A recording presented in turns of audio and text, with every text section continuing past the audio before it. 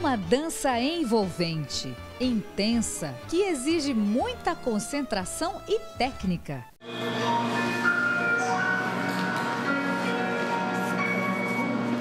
O tango, que nasceu nos subúrbios de Buenos Aires, na Argentina, no final do século XIX, tem ganhado cada vez mais admiradores e despertado a vontade dos goianos de tangar. A expressão é essa mesma.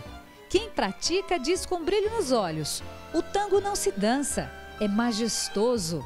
O tango se tanga. O interesse pelo ritmo é tanto que fez nascer um projeto específico, o Ai Milonga. Já está na quarta edição e foi criado pelos professores Amanda e Guilherme. O projeto é para pessoas que ainda não experimentaram os primeiros passos.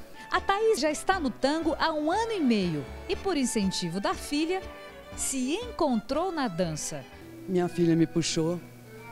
Mãe, vai ter intensivo de tango, você sempre quis, vai, faz. E eu fiz, fiquei, e hoje ela disse que criou um monstro. E não pensa em parar, não? Não, não, não de forma nenhuma. Murilo, que é parceiro dela, conta que o ritmo o trouxe mais concentração, pois exige técnica. Te estimula você a, a buscar a postura, buscar um contato mais técnico, mais próximo. O professor Guilherme tem 14 anos de experiência na dança e há 5 se dedica ao tango. A gente tem um momento de muita sociabilidade, de uma dança social dentro das milongas. Mas a gente também tem o tango show, né? tem esse tango que ele é mais de exibição, de apresentação, onde a sexualidade é um pouco mais aflorada, mas o tango socialmente é uma dança para todos, é como se fosse o forró do argentino.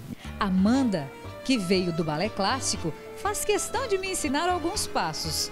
E eu arrisco. Pisou pro lado. Isso. Eu vou vir para trás agora. Nossa. Tá vendo? Não, não pode ficar nervosa. Se você ficar tensa, é pior.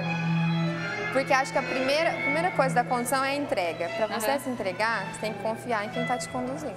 Fica assim o convite dos professores para você que, como eu, pode começar do zero e se apaixonar pelo tango. Bom, pessoal, sintam-se convidados para a Milonga de sábado. Percam medo, venham entregues para sentir a música. No dia 3 de março, a Milonga, quarta edição, aqui no Coffee Time. Nós iniciamos 8 horas com uma aula para iniciantes. Tango, seus primeiros movimentos, das 8 às 9 e meia. 9 e meia a gente inicia milonga, que é o baile. E às 11 a gente vai ter uma apresentação, uma exibição, onde dança eu e a Amanda.